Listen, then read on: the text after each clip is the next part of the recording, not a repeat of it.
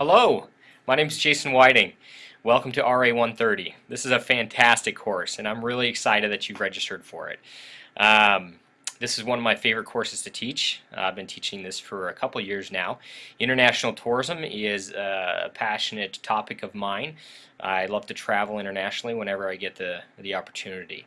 I've led trips um, all around the world, mostly um, in Central and South America though. Um, so the purpose of this video is to take a few minutes and to walk you through Blackboard. And in the process of doing that, to kind of walk you through and explain to you how the course is set up.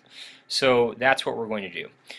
Um, like most courses, Blackboard has, this Blackboard shell has a lot of the same fundamental pieces that a lot of your other courses will have. This is the main home page of the course. You have your assignments, that type of, or your announcements rather, that type of thing. Um, in these announcements right here on your sidebar, um, what you have is, this is the text, the course text. It is necessary that you get this course text. It's re relatively cheap compared to a lot of lot of your other textbooks. Here's the course schedule. This is a very quick, easy way to find the course schedule. This is also found in the syllabus.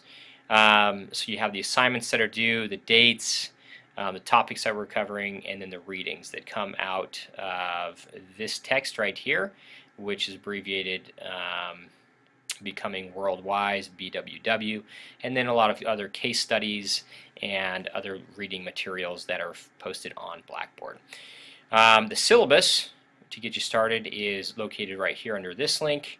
And one of the other things, just breaking the syllabus down, which I have right here, is the grading and course assignments. So all these grading and course assignments that um, these are all listed right here, and these can all be found in these links right here um, in Blackboard.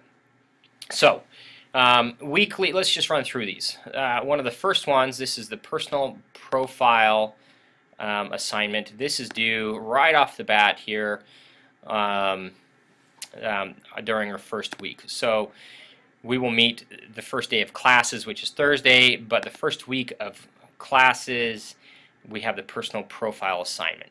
So you can learn more about that in the syllabus right under these assignments there's a, a, a, very thorough description about what is needed there. But before I get into that, I've organized the uh, course under course modules. So in any given week you can go under the uh, course modules and click on this link and it will take you and under all the instructional materials will be under that week. But I digress. Let me back up. One of the most important things with our schedule is this right here. You can see that Tuesdays we will meet in the classroom. Um, this is this course is what's referred to as a blended course or a hybrid course. So while we will meet in the classrooms on Tuesdays, on Thursdays these are what is referred to as location neutral. so this is a, uh, a virtual meeting. Um, so Thursdays we will not meet in the classroom. You're more than welcome to come to the classroom. However, um, you might just see a couple people in the classroom with their laptops. I will not be there, but perhaps other students with their laptops may be there. But you are not required to be there on Thursdays. However, you can be at a location of your preference. Um, during Thursday, while you do not have to be present online during our sketch our scheduled meeting time, there are some things that you have to do. Um, and those are all outlined during these weeks. Okay, so let's click on the first week. so the activities and assignments are listed on the on the week. Okay, so while the first date we are in class, this is a Tuesday, the second week, the second date rather, is always the Thursday. Um, and so they're the thing that we will always do on a Thursday are discussion boards, okay? But you just follow these instructions here. So for example, I have uh, the course intro, which you are watching right now. Um, there's always a mini lecture, um, the personal profile assignment. You can click and complete that right here. Um, the intro Jeopardy game, um, tourism PowerPoint, and then the discussion board. You can complete those right here, and there's detailed instructions. The thing I'll reiterate over and over again is that there's thorough, thorough instructions if you just click the link and and explore, click the link and explore. Week, pardon me, week two.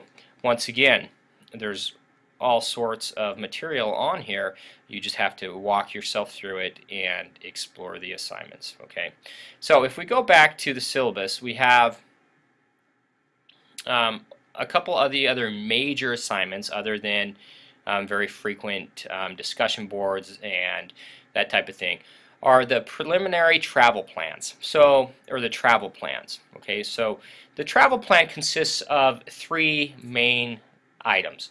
There's three main parts. The final travel plan is the the large cumulative project, um, which is the final report that you're handing in at the end of the semester. And the idea of the travel plan is for you to pick a location that you really like to travel to, okay? And eh, perhaps down the road, perhaps uh, as a honeymoon location, perhaps um, when you get your first job, perhaps uh, over next spring break, perhaps um, next summer, whenever, perhaps in a couple years down the road, whenever. Um, and this is a foreign country that, that you would like to go to, not Alabama. Okay, we're, we're thinking foreign location. And then these preliminary reports right here, preliminary report number one, preliminary report number two, are designed to get you to that point. Okay, to get you to this point where you will be able to um, get yourself to create these two different reports that will then end up in this final travel plan where you will create this document that will kind of assist you in um, developing this plan to allow you to develop um, a plan to, to actually result in having the necessary document to make this, this plan a reality. So a part of this, in addition to these preliminary reports, and the details for this, this travel plan, the foreign travel plan, once again is found in Blackboard. You come to this foreign travel plan link and there's a ton of information here. So there's information about, pardon me, about how to turn in this foreign travel plan. Um, so the first preliminary report, once again, if you go to the schedule, um, you can find the due dates for this. But if you click on the preliminary report, the due dates are right here, and how to actually create the travel plan and, and log in and, and that type of thing is right here, but the goal for the travel plan is right here. The directions are right here. So what you're actually going to write about, the length of the different sections that you're going to write about. So you're going to write about the location, the motivation, globalization, um, and then of course grammar, writing, and style. Um, a lot of very useful information here. Okay, so this is preliminary report number one. Let's go back here. Preliminary report number two this is the next section of this is personnel, risk management, logistics, impacts, ethics. Um, once again, a lot of very useful information. So in addition to completing these sections, we also have the peer review elements of this. So you are creating these portions of the your travel plans, and you're doing those in Google Documents. And there's instructions on how to create these in Google Docs um, right here. So using Google Docs and Google Apps at Fresno State. So I have detailed information right here, which I should have logged into this earlier. Uh, let's see here.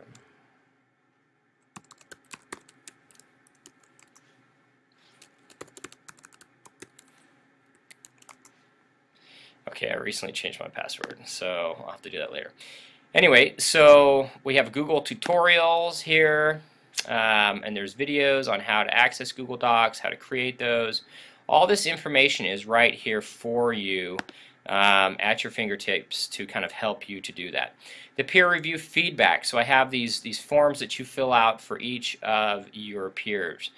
I have you in groups, okay? Your groups, while mine, as an instructor, I don't have the groups here set up, but your groups are all there. So the key here is just to follow all the links and follow the links and the instructions here and you will be all set.